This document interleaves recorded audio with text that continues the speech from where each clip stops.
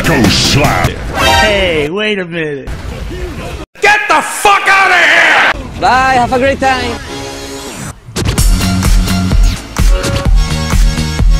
Another one. Another one.